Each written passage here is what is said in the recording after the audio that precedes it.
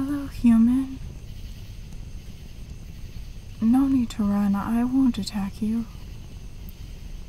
I'm a wolf. I, I know in your culture we're seen as dangerous, but we are not. We're scavengers, not predators. We don't hunt. I'm simply here to ask for your help.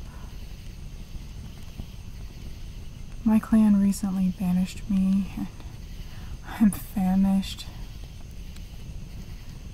I don't have any means to get food, and it's been a few days. Will you find it in your heart to give me some of your meat to eat?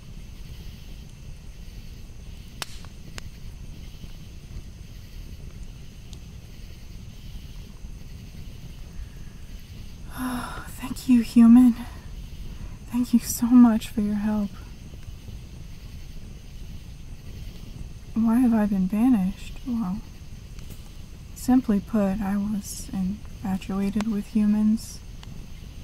It's why I approached you. I know you're not evil. I would study you all from afar, watch you with your family and your children, and know that a beast who can care for a little one cannot be evil. That when you kill, it's because you have to, like any other predator. But the wolves don't think so.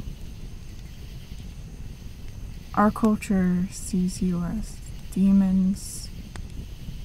We see you as people who want to kill us all, but I know the truth, and when I told of my findings, I was banished by the elders of my clan.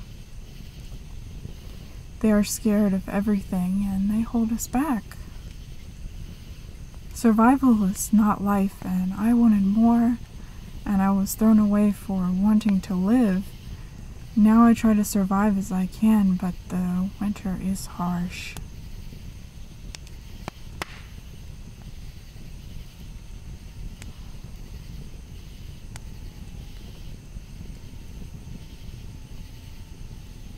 Human,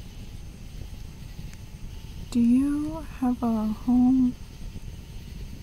Would it be possible for me to join your house and live there?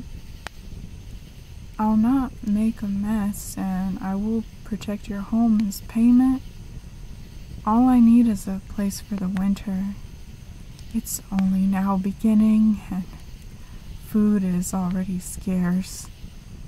If I remain in the woods, I'll freeze or starve. Oh, thank you, human. I will follow you to your home. I hope we can get along.